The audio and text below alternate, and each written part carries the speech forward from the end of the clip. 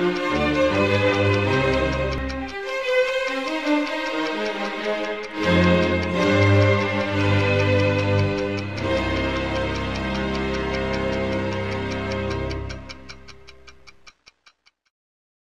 Здравствуйте, в эфире ТВ Мытищи, неделя открытий, и с вами, как всегда, Мариам Тумбулян. Сегодня я расскажу про знаменитые фонтаны и каскады Петергофа, День епископа Мирона Ветрогона, когда отмечают День государственного флага России, какой русский спортсмен совершил кругосветный велопробег, узнайте, когда появились первые чипсы, а в конце передачи я раскрою секрет приготовления настоящего шашлыка.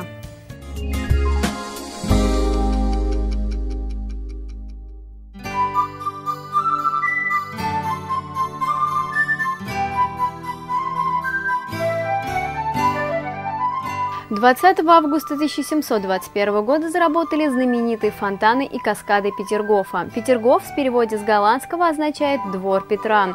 Замысел создания резиденции принадлежит Петру Первому. До наших времен сохранились рисунки Петра. По ним можно сделать вывод, что общая концепция архитектуры и фонтанных сооружений принадлежит самому императору. Дворцово-парковый ансамбль по его замыслу не уступал бы знаменитому французскому Версалю. Дворец построили на берегу Финского залива, так как это место природа создала специально для будущего дворца. Петр нашел несколько водоемов, бьющими из-под земли ключами. Водопроводящую систему создал русский мастер Василий Тувалков. Из водоемов шла самотеком вода до накопительных бассейнов верхнего сада. Оттуда с 60-метровой высоты по трубам из бассейнов вода силой устремлялась вниз, чтобы взмыть множеством струй в фонтанах парка. Над проектом работали более 200 столетий. Петродворец с тех пор и по сей день называют музеем под открытым небом.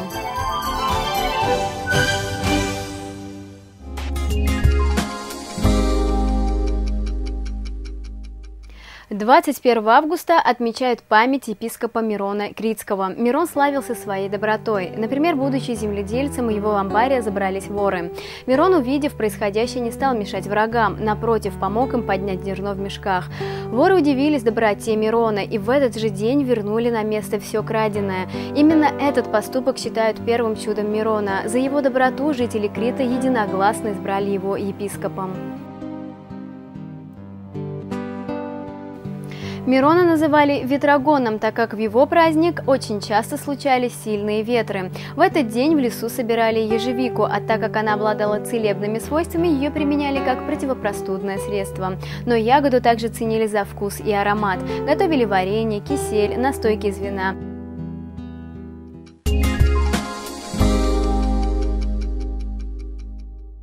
1994 года 22 августа отмечают День государственного флага Российской Федерации.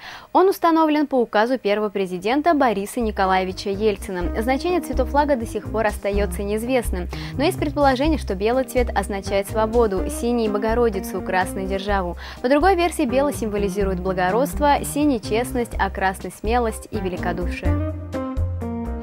Впервые флаг появился в 17 веке. Это был период становления России как мощного государства. Изначально он предназначался для русского флота на Каспийском море. Это был своего рода опознавательный знак, так как три полоски были заметны с больших расстояний. Идейным инициатором был отец Петра I Алексей Михайлович, а самый первый корабль, на котором был поднят флаг, назывался «Орел». Петра I по праву считают отцом российского флага, ведь он в память о своем отце утвердил флаг в качестве знака принадлежности корабля корабля к государству.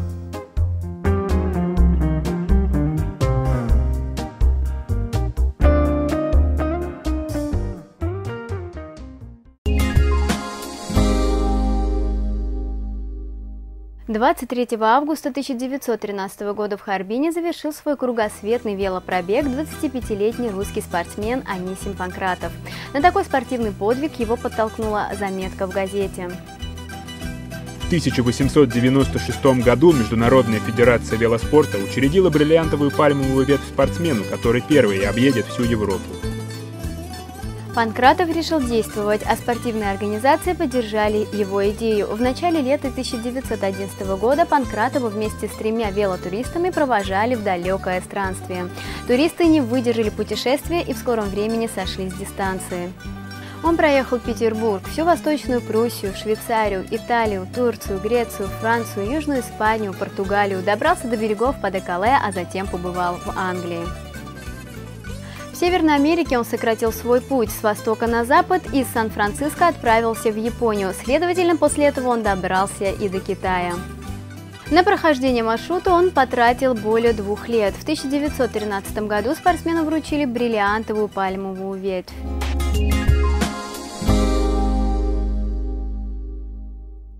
Также 23 августа для нашей страны – значимая дата. Это день разгрома советскими войсками немецко-фашистских войск под Курском. К этому событию в Мытищинском районе проходит третий этап социальной акции «Спасибо за победу». Акция продлится до 15 сентября. У мытищинцев есть возможность поздравить участников Курской битвы, а также ветеранов, освободивших города Орел и Белгород, и тех, кто участвовал в окончании Второй мировой войны с Японией. Вас ждут по адресу Новомытищинский проспект, дом 40 43, корпус 4. Либо вы можете заполнить заявку на сайте www.citmmr.ru. Телефон для справок 8 495 786 57 41.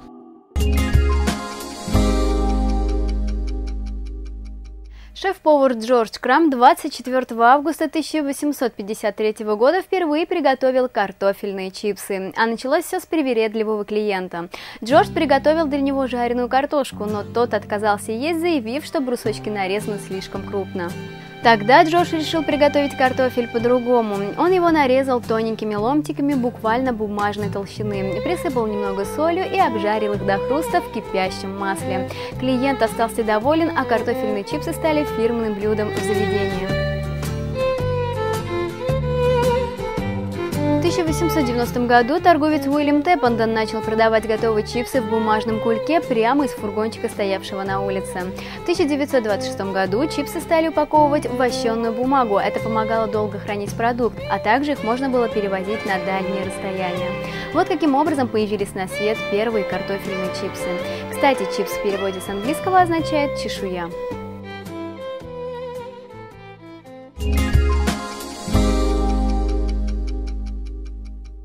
Друзья, поскольку дни праздника в какому-либо событию назначают, предлагаю вам 25 августа отметить как День шашлыка. Это последняя суббота лета. Думаю, будет справедливо уделить определенный день этому вкусному и, не побоюсь этого слова, интернациональному блюду. Уже с древних времен готовили пищу на огне и не в одном определенном месте, а во всех уголках мира. Название этому блюду – шашлык. Сейчас принято считать, что родина этого блюда – Восток. Иран, Ирак, Ливан, Кавказ. Возможно, что благодаря восточным традициям приготовления мясо получается ароматным и вкусным. Шашлыком называют не только жареное мясо, но и овощи, приготовленные на углях. Чтобы увидеть процесс приготовления королевского блюда, направимся в кафе «Зеленая роща».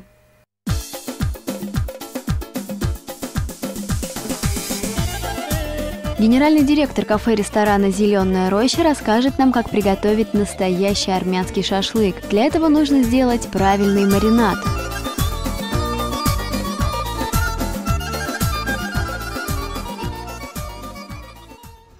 баранина, свиная шейка, э, свиное э, ребро. Рубим куски, маринует. Соль, перец, специально э, сушеный базилик и лук и свежий зелень рубленый. Все это нужно хорошенько перемешать, затем оставить на сутки, желательно в холодильнике. Когда мы рвем мясо на пеньке, да, и убираем мясо, обязательно пенек туда убирать и сыпать солью, крупной солью.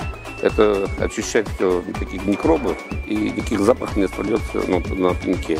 После этого процесса можно смело жарить шашлык.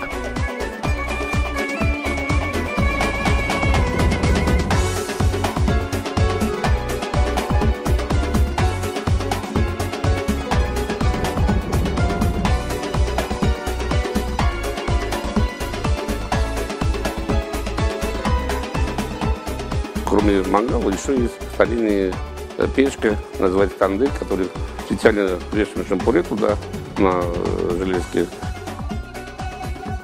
Открываем нижний дымоход. И 20-25 минут и готов шашлык. Подаем к столу прямо почти в горячем виде. Всегда люди с удовольствием кушают и, и с удовольствием забирают с собой, кто и остается. Приглашаем вас 25 августа, кафе «Зеленая роща», день шашлыка.